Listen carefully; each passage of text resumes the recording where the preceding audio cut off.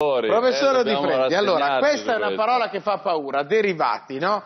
E, e immagino che a casa adesso siano aiuto, ma cosa c'è di matematico per spiegare un concetto che è puramente matematico, i, derivati? Beh, tutto. Anzitutto Oh. bisogna appunto non demonizzarli, come per esempio Fagrillo che abbiamo citato prima, il quale un giorno se ne è uscito appunto dicendo nessuno ci capisce niente, noi ce li impongono. No, si capiscono benissimo, però ovviamente bisogna conoscerli. La cosa interessante dei derivati è che risalgono addirittura a 2500 anni fa. Il primo che li ha fatti è stato Talete, quello del famoso teorema di cui adesso le chiedo l'enunciato, no?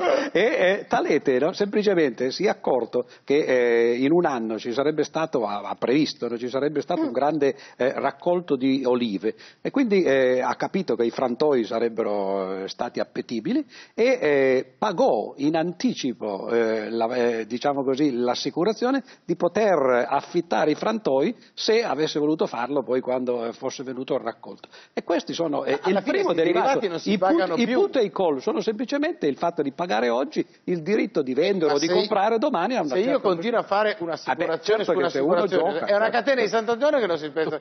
E quello è il problema. di fo- Ecco Cioè- perché siamo arrivati alla crisi del debito. Però vorrei sottolineare Poi in appunto genere no, c'è l'assicuratore che è più bravo certo, di chi certo. si assicura e guadagna molto di più di chi si assicura che si trova Però invece adesso, indebitato però, scusate, adesso- come i nostri solo, solo comuni. per finire la frase però, cioè eh, eh, Black and Scholes che hanno trovato la formula per poi calcolare appunto il valore dei derivati, beh, hanno preso il premio Nobel per l'economia, non sono proprio Sì, no, sì, no, no, ma cioè la matematica dietro no, è solida, certo. ovviamente poi il modo in cui queste cose vengono Oh, applicate